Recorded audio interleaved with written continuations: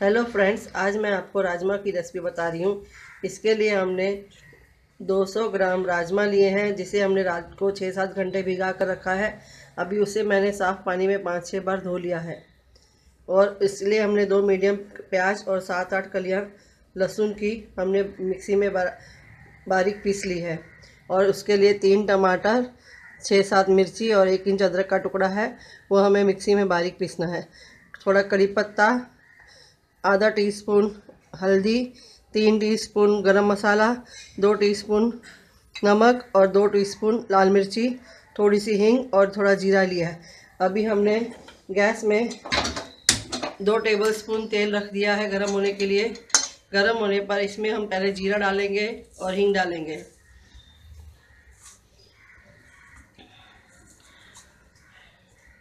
आधा टीस्पून हम इसमें जीरा डालेंगे। तेल हमारा गरम हो रहा है। तेल हमारा गरम हो गया है। इसमें अभी हम जीरा डालेंगे। जीरा लाल हो रहा है। अभी उसमें हम ज़रा सी हींग डालेंगे।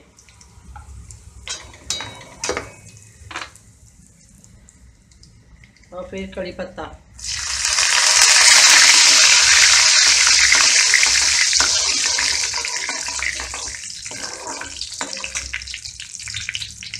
और इसे हम इसमें हम पिसा हुआ प्याज और लहसुन की पेस्ट डालेंगे। और इसे भुनेंगे, इसे भुनने होने तक चलाते रहेंगे।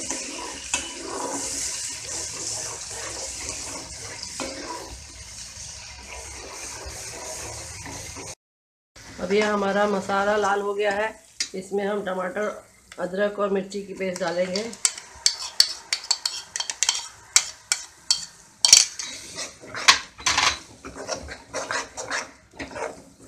और इस मसाले को हम भूनेंगे। इसके साथ ही इसमें अभी हम हल्दी हल्दी पाउडर,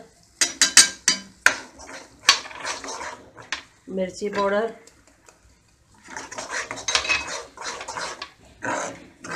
गरम मसाला और नमक डालेंगे। और इसे तेल छोड़ने तक इस मसाले को हम भूनते रहेंगे।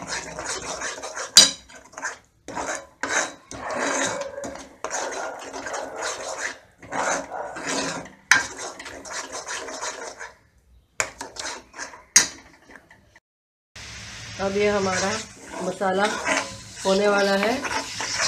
भून चुका है।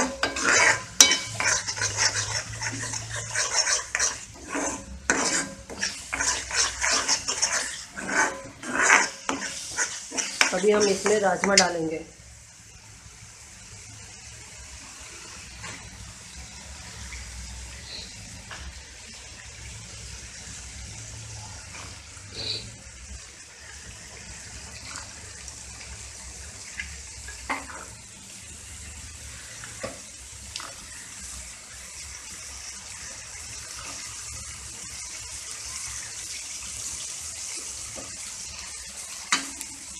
और इसे अच्छे से मिलाएँगे।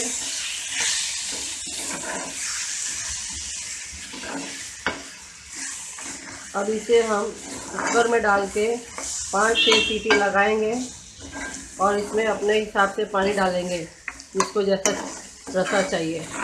वैसे राजमा को चावल के साथ ज़्यादा अच्छे लगते हैं।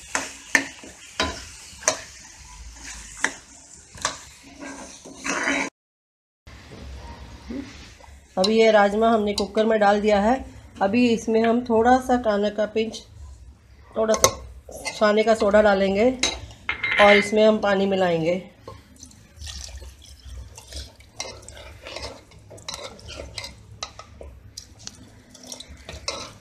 और इसे अभी हम गैस पर रख देंगे और पाँच छः सीटी लगाएँगे, हमारे राजमा तैयार हो जाएँगे। अब ये हमारे राजमा रेडी हो गए हैं। छः सात सीटी बजाने के बाद मैंने इसमें हवा निकलने के बाद कुकर खोला है ये देखिए हमारे राजमा रेडी हो गए।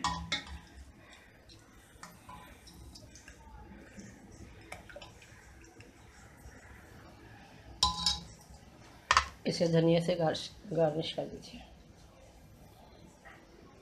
हमारे राजमा खाने के लिए तैयार हैं।